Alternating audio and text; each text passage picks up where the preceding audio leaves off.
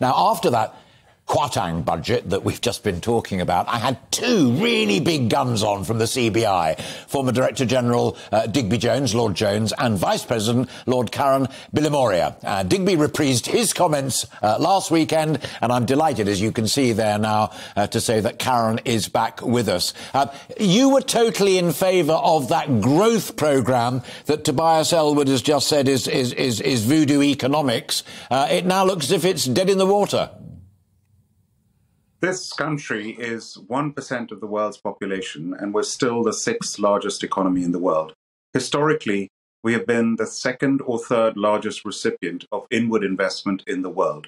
We've got one of the top two financial centers in the world, and we're the second largest services exporter in the world.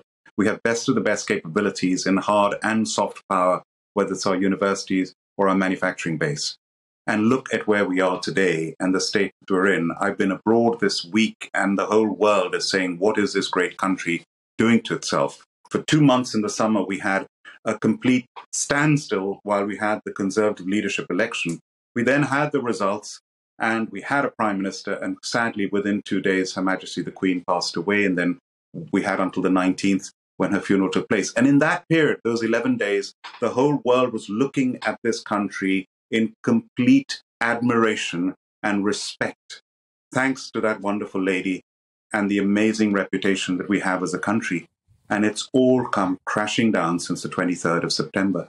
And it's just awful. I, do, I cannot tell you how much it hurts me to see where we are today, given where we were just a few weeks ago.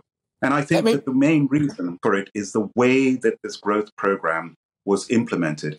It was rushed into. And it's my my analogy with my own business. I would never make a decision whether it's a new brand or a new product without testing it with my consumers and my customers first.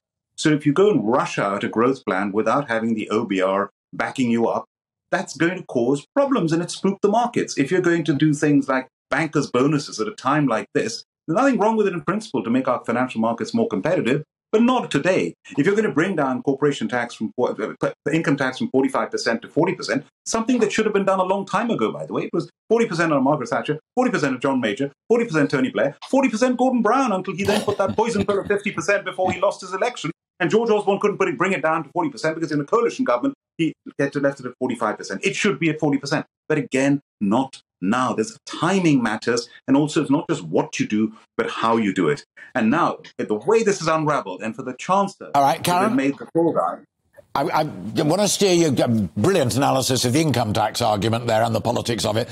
But how worried are you, as Rory McCallion was, my previous guest here, uh, about putting Hunt in to reverse a lot of it, but specifically Truss and Hunt now saying those corporation tax rates, as Rishi had planned, will now go from 19 up to 25%. 18 billion pound hit on your members, on our British industries.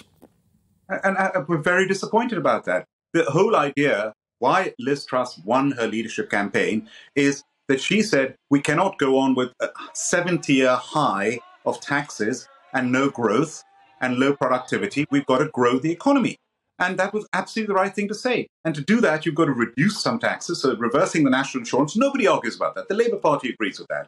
And not putting up corporation tax by 6%, as you said earlier, by over one third, I mean, that damages our investment. That damages our companies. That damages so many things by doing that, makes us less competitive.